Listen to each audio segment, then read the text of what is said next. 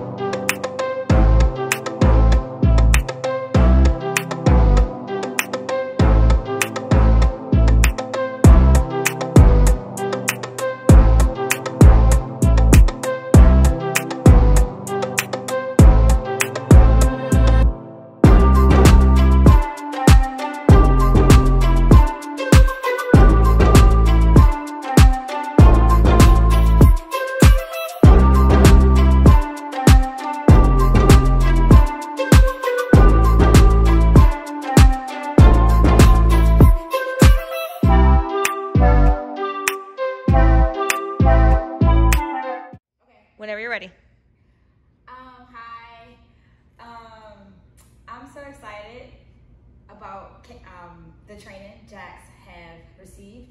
And one of the reasons why I brought him here is because I I knew that he was going to be a big dog. He's a lab. I knew that he was going to be re- real rowdy, and I just kind of like years down the line, I felt like it was going to be an investment, and I years down the line, I wanted him to be trained. I, I wanted to know that I had a trained, obedient dog for people to want to be around, my family to want to be around. So that's why I um, took the time to bring him out, to bring him here.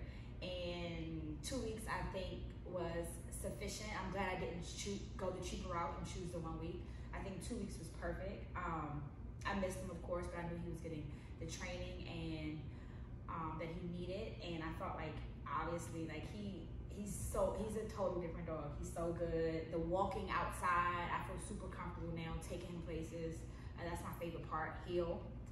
Um, and yeah, I feel like it was a good investment for the dog that I plan on having for the next hopefully 10, 15, 20 years. Would you recommend Off Leash K9 to anyone else?